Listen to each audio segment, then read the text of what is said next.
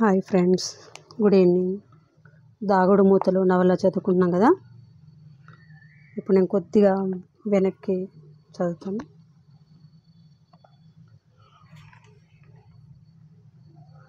పది రోజుల్లో నా ట్రాన్స్ఫర్ ఆర్డర్స్ వచ్చేసాయి. ఆర్డర్స్ వచ్చిన తెల్లవారే నన్ను రిలీవ్ చేశారు. మా కొలీగ్స్ అందరూ కలిసి నాకు ఫేర్వెల్ పార్టీ ఇచ్చారు. మా ఆఫీసర్ నా గురించి చాలాసేపు మాట్లాడారు. చైతన్య చాలా తెలివైన అమ్మాయి అని ఆమెను ఇంటర్వ్యూ చేసినప్పుడే గ్రహించాను. ఎప్పుడు ఉత్సాహంగా తన చుట్టూ ఉన్న వాళ్ళని నవ్వుతూ నవ్విస్తూ రొటీన్గా డల్గా గడిపే ఆఫీసు జీవితాన్ని లైవ్లీగా మార్చింది. చైతన్య తనకిచ్చిన పనిని కూడా సిన్సియర్గా చేసింది. ఆమె లాంటి సమర్థురాలైన ఉద్యోగిని కోల్పోవడం నిజంగా మన దురదృష్టం. కానీ ఉద్యోగం అన్నప్పుడు ట్రాన్స్ఫర్ తప్పదు. ఆమె వెళ్ళిపోవటం మన ఆఫీస్కు నష్టమే. అయినా వేరే ఆఫీసుకు లాభం అవుతుందని మనం మర్చిపోకూడదు. ఆమె ఎక్కడికి వెళ్ళినా తన తెలివితేటలతో తన ప్లెజెంట్ టెంపర్మెంట్తో అందరి ఆభరిమా ఆదరాభిమానాలను చూరగొంటుందని నమ్మకం ఉంది. I wish her a happy and cheerful full life at her new station అని ముగించాడు. ఇంకెవరైనా మాట్లాడతారా అని మా ఆఫీసర్ అడిగినప్పుడు విక్రమ్ లేచాడు. విక్రమ్ మాట్లాడతాడా? ఇప్పుడైనా నిజంగా అతని మనసులో ఏముందో చెప్తాడా? చైతన్య వెళ్ళిపోతున్నదని తెలిసినప్పుడు నా మనసులో చెలరేగిన అనుభూతులకు అక్షర రూపం ఇవ్వాలని నేను చేసిన వ్యర్థ ప్రయత్నం ఈ గేయంగా మారింది. అది ఇప్పుడు చదువుతాను అంటూ ఎవరికేసి చూడకుండా చదవడం మొదలుపెట్టాడు. ఆశల గ్రుడ్డి దీపాలు ఆరిపోగా ఆశయాలు మనసు నుండి పారిపోగా హృదయపు గదిలో ఏం మిగిలింది చీకటి తప్ప? చమురింకిపోయి చాలా రోజులైంది. వత్తి తరిగిపోయి మరిన్ని గంటలైంది. ఈ మనసు ప్రమిదలో ఇంకేం మిగిలింది? సన్నని పగులు తప్ప? నాకు తెలుసు ఆగమనం ఉన్నప్పుడు నిర్గమనం తప్పదని. వెళ్ళే నిన్ను చూసి లేని నవ్వు తెచ్చుకుంటే అది నా ముఖానికి నప్పదని నాకు తెలుసు. తెగిన తీగల విరిగిన వీణపై ఇక ఏ రాగాన్ని పలికించలేనని కాలం కాళ్ళిరగ్గొట్టి ఈ క్షణాన్ని శాశ్వతం చెయ్యలేనని. నీవెక్కడో నేనెక్కడో మళ్ళీ మనం కలిసేదెక్కడో నిశ్శబ్ద నిషిదిలో నన్నొంటరిగా వదిలేసి దీపం లేకున్నా వెళ్ళిపోగలవులే. బాధాతప్త హృదయపు మండే వెలుతుర్లో నీ దారి సుగమమేలే. మరపు మత్తుకు బానిసను కావాలనుంది. జ్ఞాపకాల ధనరాశుల్ని కొల్లగొట్టుకు వెళ్ళిపో. జ్ఞాపకాల గుడిగంటలింకా వినలేను. మరపు మధుశాలలో త్రోసి వెళ్ళిపో. మరపు చీకటిలో మ్రగ్గిపోవాలని ఉంది. జ్ఞాపకాల దీపాల్ని ఆర్పుతూ వెళ్ళిపో. పోతున్నావా నేస్తం? వెళ్ళిపోతున్నావా? అనుభవాల ఐశ్వర్యాలతో అంతకు మించిన ఆత్మస్థైర్యంతో నీవు ముందుకు పోవాలనే ఉంది. కానీ వెనక్కి చూడమంటున్నాను. స్నేహమాధుర్యానికి తల వంచింది. మిత్రుత్వపు గొప్పదానానికి సగర్వంగా తల ఎత్తింది. నీకడనే నీతోనే. అందుకే గుండె లోపలి అరలలో భద్రంగా బంధింపబడిన నీ చిత్తరువును తల వంచే చూసుకుంటాను. నమ్రతగా మనసు చెదిరి మగత నుదిలి జీవితపు టెడారిలో పరిగెత్తే ప్రయాణికుడికి చక్కటి నీడ చల్లని నీరు దొరికినట్టుగా ఉంది నా పరి నా మనస్థితి ఇప్పుడు.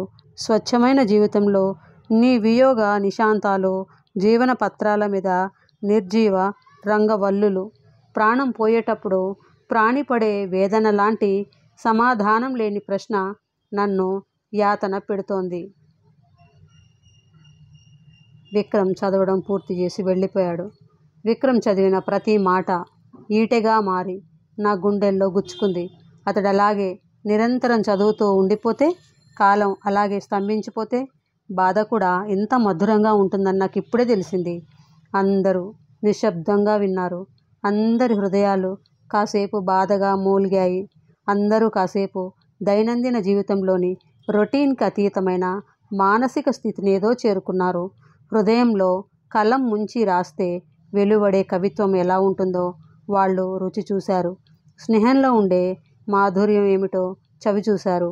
విక్రమ్ ఆ పంక్తుల్ని చదవడం కూడా ఎంతో ఫీలింగ్తో ఎంతో అందంగా చదివాడు. ఆ క్షణంలో అతని గొంతులో పలికిన ఆ అనుభూతి సాంద్రతను ఈ జన్మలో మర్చిపోలేను. ఆ తర్వాత నన్ను మాట్లాడమన్నారు.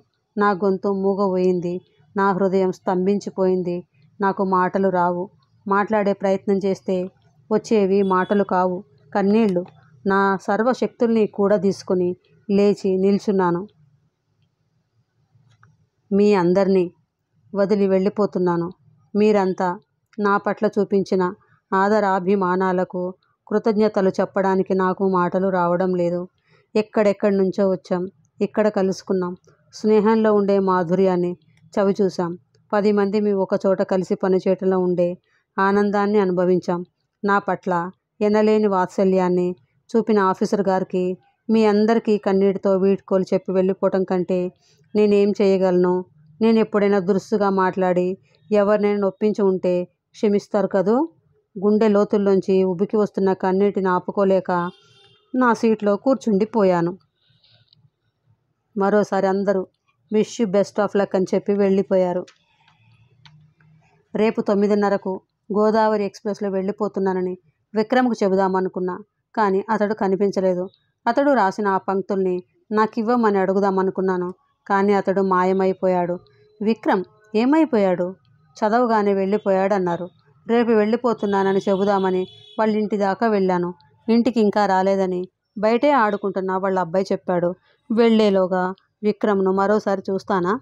మరోసారి కడుపు నిండా మాట్లాడతానా? లేదు విక్రమ్ ఇక కనిపించడు. విక్రమ్ స్టేషన్ దాకా వస్తే ఎంత బాగుండును? కానీ రాడని నాకు తెలుసు. నేను తమ్ముడు రాత్రి తొమ్మిది గంటలకు కాజీపేట స్టేషన్ చేరుకున్నాం. వెళ్ళగానే ఎక్కడైనా విక్రమ్ ఉన్నాడేమోనని స్టేషన్ అంతా వెతికాను. లేడు. ఎలా ఉంటాడు? తిక్క మనిషి. అకస్మాత్తుగా నా మనసంతా అతని మీద అతని మీది కోపంతో నిండిపోయింది. పోన్లే అతనికి లేని ఆ ఇది నాకెందుకు? నేనే వట్టి పిచ్చిదాన్ని. స్టేషన్ ప్లాట్ఫామ్ మీద నిల్చున్నాము. క్రమక్రమంగా ప్లాట్ఫామ్ మీద జనం ఎక్కువ అవుతున్నారు ట్రైన్ టైం దగ్గర పడుతోంది. విక్రమ్ రాడా? నిజంగా రాడా? ఈ ఆఖరు క్షణాల్లోనైనా ఒక్కసారి కనిపించడా? కనీసం చివరిసారిగా ఏడిపించడానికైనా రాడా? అతడు రాలేదన్న భావం నా గుండెల్ని శాశ్వతంగా తొలిచి చేయాలనే తొలిచివేయాలని అతడు రావడం లేదు. ఎంత నిర్దయుడు ఎంత క్రూరుడు. మరి అలాంటి వాడు నిన్న ఆ కవిత్వం అంతా ఎందుకు ఒలకబోసినట్టు? నన్ను ఏడిపించడానికేనా ట్రైన్ లేట్ ఏమీ లేదక్కయ్యా రైట్ టైంకి వస్తుంది అన్నాడు సందీప్. ఇంకా ఇరవై నిమిషాలు టైం ఉంది కాఫీ తాగుదామా? అక్కర్లేదురా సామాన్ ఎక్కించడానికి కూలింగ్ చూడు. కూలీని మాట్లాడేశాను అక్కయ్య. సరే నువ్వు వెళ్ళి కాఫీ తాగిరాపో నేను ఇక్కడే ఉంటాను అన్నాను. సందీప్ వెళ్ళాడు. నా కళ్ళు ప్లాట్ఫామ్ అంతా వెతుకుతున్నాయి కానీ ఎక్కడా విక్రమ్ని పోలిన మనిషి ఎవ్వరూ కనిపించలేదు. ట్రైను రైట్ టైంకే వస్తుంది కదూ? ఉలిక్కిపడ్డాను. నా వెనుకే విక్రమ్. అవును నువ్వు ఇప్పుడా రావడం? ఎప్పటికైనా వచ్చినందుకు సంతోషించు. ఎందుకు సంతోషించాలి? నీకోసం ఇక్కడెవరూ క్షణముఖ యుగంగా ఎదురు చూడడం లేదు. నువ్వు ఎదురు చూస్తున్నావని నేనేం రాలేదు ఇక్కడికి.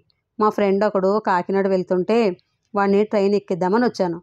కనిపించావు కదా అని పలకరించాను. చాలా గొప్ప పని చేశారు. వెళ్ళండి మీ ఫ్రెండ్ దగ్గరికే వెళ్ళండి. అలాగే వెళ్తాను. ఎలాగో కలిసావు కదా. నీతో లాస్ట్ టైం కాఫీ తాగాలని ఉంది. క్యాంటీన్కి వెళ్దాం పదా. అక్కర్లేదు. నిన్ను బతిమాలేంత టైం లేదు. ట్రైన్ వచ్చేస్తుంది. నన్ను బతిమాలమని నిన్నేం కోరుకోలేదు. చైతన్య అన్నాడు అతను బాధగా సహనంగా. నిశ్శబ్దంగా అతని వెంట నడిచాను. అతని చేతిలో ఏదో ప్యాకెట్ ఉంది. ఏమిటిది? క్యాంటీన్లోకి వెళ్ళి కూర్చున్నాం. రెండు కాఫీలు తెమ్మని చెప్పాడు అతను. నిన్న నువ్వు చదివిన ఆ కవిత నాకు కావాలి. నా కవిత నీకెలా ఇస్తాను? ఇవ్వాలంతే. శాసిస్తున్నావా? అవును. నన్ను శాసించే హక్కు నీకెవరిచ్చారు? నువ్వే ఇచ్చావు. ఇద్దరము కాఫీ తాగి సిప్ చేస్తున్నాము. అతడేమీ మాట్లాడడం లేదు. ప్లీజ్ ఏదన్నా మాట్లాడండి. మీరు నిశ్శబ్దంగా ఉంటే నేను భరించలేను. కొన్నింటిని భరించక తప్పదు. ఇప్పుడైనా కాసేపు మీ మొండి జవాబుల్ని కట్టిపెట్టి కాస్త ఈ మనసుకు ఉపశమనాన్ని కలిగించే రెండు మాటలు మాట్లాడకూడదు. అలాంటి మాటలు నాకు రావు. ఏడిపించే మాటలు మాత్రం బాగా వచ్చు. నువ్వు వెళ్ళేలోగా నిన్ను మరోసారి ఏడిపించాలని ఉంది అవును నువ్వు వస్తే సరిగ్గా అందుకే వస్తావని నేను అనుకుంటూనే ఉన్నాను. నువ్వు అలా అనుకుంటావని నాకు తెలుసు. బిల్లు మీరిస్తారా? నన్ను ఇవ్వమంటారా? విక్రమ్ ప్లీజ్. బిల్లు చెల్లించి బయటకు వచ్చాడు విక్రమ్. ట్రైన్కి ఇంకా పది నిమిషాల టైం ఉంది అన్నాను. విక్రమ్ ఏమీ మాట్లాడడం లేదు. రెండు మాటలు రెండు కమ్మటి మాటలు. మనసు మీద పన్నీటి జల్లుల్ని కురిపించే మాటలు. రావు. అతని నోటి వెంట నుంచి అలాంటి మాటలు రావు. విక్రమ్ ఆఖరిసారిగా అడుగుతున్నాను. నువ్వు రాసిన ఆ కవితను నాకు ఇవ్వవు. ఎందుకు? ఆ పిచ్చిరాతలు ఏముంది? అదంతా నీకు అనవసరం. సరే నీకు అనవసరం అయితే తీసుకో. నీకు అవసరం అయితే తీసుకో. చేతిలో ఉన్న ప్యాకెట్ తీసి నాకు ఇచ్చాడు. ఇదో లెటర్ ప్యాడ్. కాళిదాసు మేఘ సం మేఘ సందేశంలోని కవిత్వానికి ఓ ఆర్టిస్టు ఈ లెటర్ ప్యాడ్లోని ప్రతి కాగితం మీద చిత్రాలు గీశాడు. ఇలాంటి చిత్రాలంటే నీకు చాలా ఇష్టం కదూ? Feudal art. ఈ లెటర్ ప్యాడ్ను నువ్వు షరతు ఒప్పుకుంటే నీకు ఇస్తాను ప్రజెంట్ చేసేవాళ్ళు ఎవరు షరతులు పెట్టరు. కానీ నేను పెడుతున్నాను. ఈ కాగితాల మీద నాకు మాత్రమే లెటర్స్ రాయాలి. ఎంత స్వార్థం? అయినా వేరే వాళ్ళకు రాసినట్టు నీకెలా తెలుస్తుంది? చాలా సులభంగా తెలుస్తుంది. ఇందులో సరిగ్గా వంద షీట్స్ ఉన్నాయి. మొదటి రెండు షీట్స్ మీద నిన్న నేను చదివిన ఆ పీసెస్ రాశాను. ఇక తొంభై ఎనిమిది షీట్స్ ఉంటాయి. నీ నుండి నాకు వచ్చే ప్రతి లెటర్లో ఎన్ని షీట్స్ ఉన్నాయో లెక్క పెట్టుకోగలను. ఇంకెవరికైనా రాసావనుకో ఏం చేస్తావు? నీకు లెటర్స్ రాయడం ఆపేస్తాను. అంతేనా? అంతే. నీకు రాసిన లెటర్స్ మీ ఆవిడ చూస్తే చూడని. ఆవిడను మన ఇద్దరి మధ్య కూర్చోబెట్టి మన ఇద్దరం ఒక గంట సేపు మాట్లాడుకున్నా ఆమెకు మనం ఏం మాట్లాడుకున్నామో అర్థమవదు ఇక ఉత్తరమా? ఏంది ఆమెకు తెలుగు రాదా? ఆమెకు వచ్చిన తెలుగుకు మనం మాట్లాడుకునే తెలుగుకు చాలా తేడా ఉంటుంది. ఆమెను కాస్త సంస్కరించే ప్రయత్నం ఎందుకు చేయరు? పోనీ చైతన్య ఆ విషయం ఇప్పుడు ఎందుకు మా ఇంటిని మా ఇంటి వాతావరణాన్ని సాధ్యమైనంత వరకు మర్చిపోయే ప్రయత్నం చేస్తుంటాను. నేను ఎప్పుడు నేను రచించుకున్న ప్రపంచంలోనే బ్రతికే ప్రయత్నం చేస్తుంటాను. అంటే తెలుగులోనే చెప్పానుగా. అక్కయ్య ట్రైన్ వచ్చేస్తుంది అంటూ సందీప్ పరిగెత్తుకుని వచ్చాడు. నాకు కూడా తెలుగు రాదేమో? ట్రైన్ వచ్చేస్తుంది. Wish you a happy journey అని చెప్పలేను. ఏం? నేను స్వార్థపరుణ్ణి. నేను దుఃఖపడుతుండగా వేరే వాళ్ళు హాయిగా ఉంటే ఓర్వలేను. ఆ వేరే వాళ్ళు కూడా దుఃఖించడం లేదని నీకెలా తెలుసు? ప్లాట్ఫామ్ అంతా రద్దీగా మారిపోయింది. జనంలో కలకలం. అందరూ అటు ఇటు పరిగెత్తుతున్నారు. మేము మాట్లాడుకునే మాటలు ఒకరికొకరికి వినిపించడం లేదు. ట్రైన్ వచ్చి ఆగింది. మేము రిజర్వ్ చేయించుకున్న బెర్తులు ఉన్న కంపార్ట్మెంట్ వెతుక్కుని కూర్చునేటప్పటికి ఐదు నిమిషాలు పట్టింది. అంతకంతకు నా గుండెలు బరువెక్కుతున్నాయి. అతను ప్లాట్ఫామ్ మీద నిల్చున్నాడు. అతనిలో ఎలాంటి చలనం లేదు. అతడేమీ మాట్లాడడం లేదు. సామానంతా ఎక్కించి సందీప్ నా పక్కనే కూర్చున్నాడు. గాడు విజిల్ ఊదాడు. సముద్రం పక్కకు పెడుతున్నావు? ఓ నీటి చుక్క లాంటి నేను గుర్తుంటానా? అతను ఆ మాట అనగానే నా గుండెకు గండిపడినట్లుగా కన్నీళ్ళ ప్రవాహం. అలా ఏడుస్తూనే మీ కోరిక తీరింది. ఏడిపించారు అన్నాను. అతనేం మాట్లాడలేదు. మెల్లగా ట్రైన్ కదిలింది. అతడు చేయి ఊపాడు. నేను నిశ్శబ్దంగా ఏడుస్తున్నాను. రైలు వేగాన్ని పుంజుకుంది. నా గుండెల్లో నిన్నటి అతని మాటలు గింగురుమంటున్నాయి. నీవెక్కడో నేనెక్కడో మళ్ళీ మనం కలిసేదెక్కడో. నిశ్శబ్ద నిషీధిలో నన్నొంటరిగా వదిలేసి దీపం లేకున్నా వెళ్ళిపోగలవులే. బాధాతప్త హృదయపు మండే వెలుతుర్లో నీ దారి సుగమమేలే. మరపు మత్తుకు బానిసను కావాలనుంది. జ్ఞాపకాల ధనరాశుల్ని కొల్లగొట్టుకు వెళ్ళిపో. జ్ఞాపకాల గుడి గంటలింకా వినలేను. మరపు మధుశాలలో త్రోసి వెళ్ళిపో. మరపు చీకటిలో మ్రగ్గిపోవాలనుంది. జ్ఞాపకాల దీపాల్ని ఆర్పుతూ వెళ్ళిపో.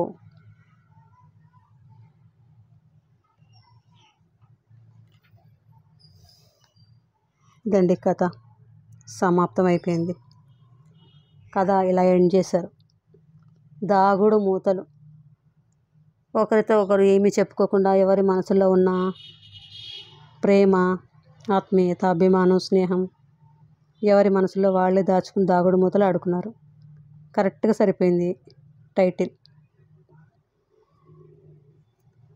అంపశయ్య నవీన్ గారు. చాలా బాగా రాశారు. ఇంత ఆ కథ ఒకటే సబ్జెక్ట్ ఒకటే చిన్న టాపిక్ మీద కథ అంతా నడిచింది. తిప్పి తిప్పి అదే చదివినా కూడా మనకి ఏమి బోర్ రాకుండా ఎంత బాగా రాశారో. ఒకటే సబ్జెక్ట్ ఒకటే మాట ఒకటే విషయం అంతా కూడా దాని చుట్టే తిరుగుతుంది. చాలా బాగుంది. ఓకే ఫ్రెండ్స్ మీకు కూడా ఈ కథ నచ్చినట్లయితే లైక్ చేయండి షేర్ చేయండి నా ఛానల్ సబ్స్క్రైబ్ చేసుకోండి ఫ్రెండ్స్. అంపశయ్య గారి మరిన్ని కథలను నవలను మనం చదువుకుందాం. బాయ్. కరుణ సిరిమణి.